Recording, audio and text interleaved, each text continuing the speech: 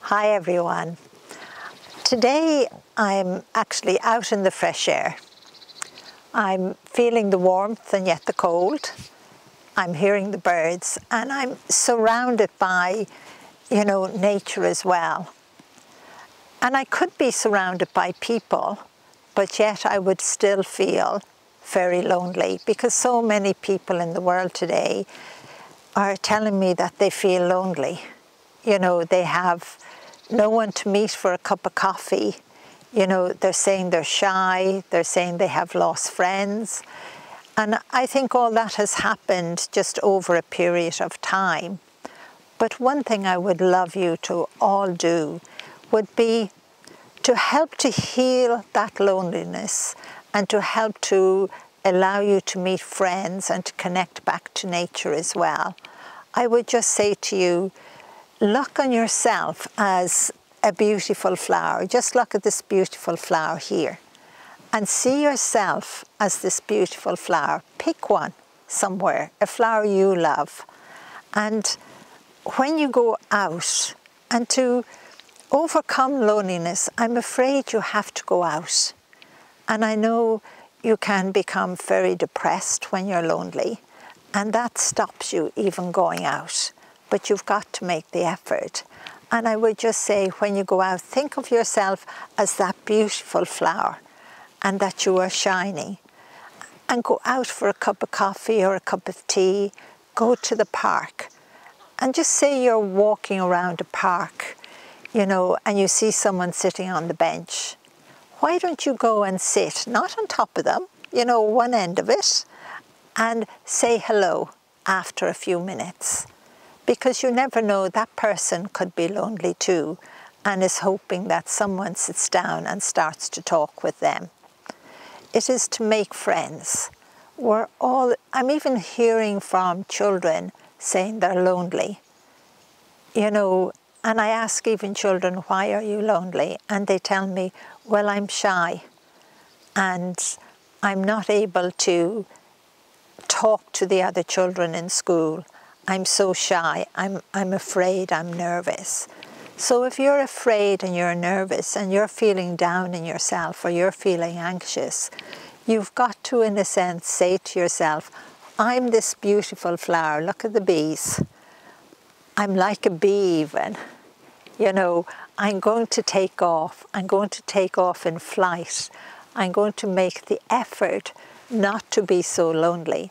And I'm going to ask my guardian angel to help me I will know that my guardian angel is right there with me every single step I take. And every time I think of myself as this beautiful flower, or you could think of yourself as a beautiful tree, or even as, you know, the bee or the bird, and you're in flight, you're going to make friends, you're going to make the effort. And I know it's not easy you know, because we have to make the effort and we are scared. But everyone tells me, you know, they're just so afraid. And I would just say to you, ask your guardian angel to help you. Ask your guardian angel to give you the courage to take the next step.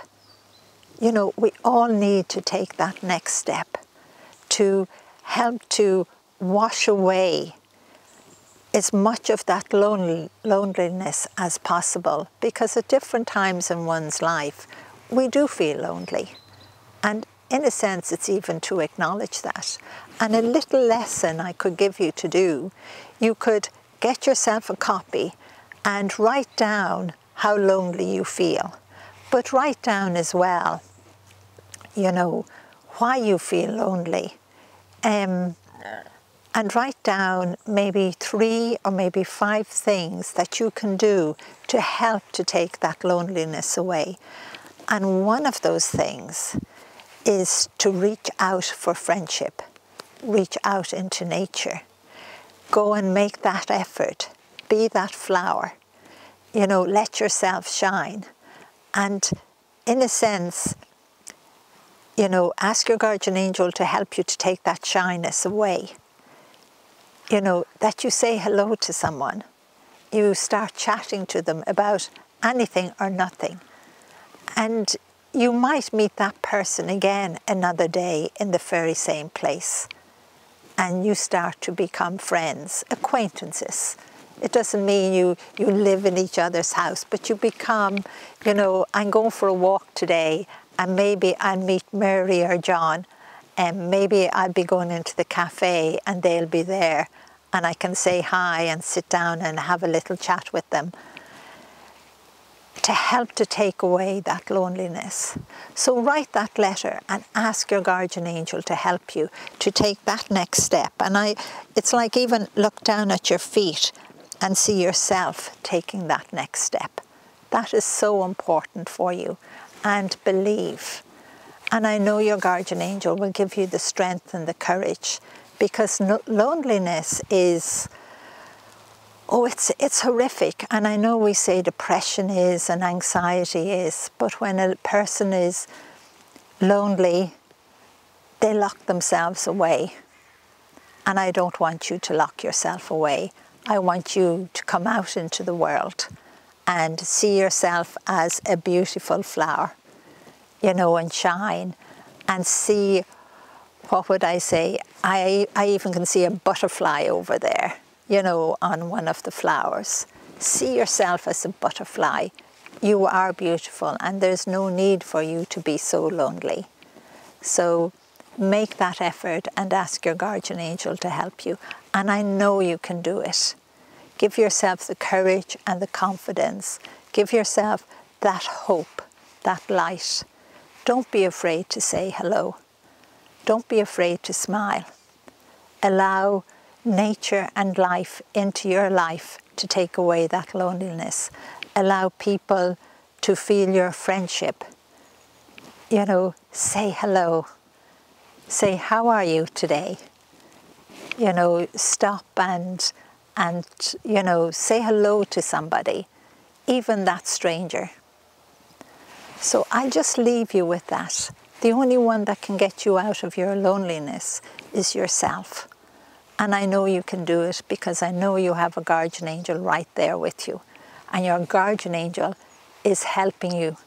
Because if you're watching this, it's your guardian angel that has said to you, watch and listen. And your guardian angel wants you not to be so lonely anymore. Well, I want you to be smiling. I want you to be saying in a few months' time, well, was I lonely? I'm not anymore. I have made a friend. Or I've made umpteen friends.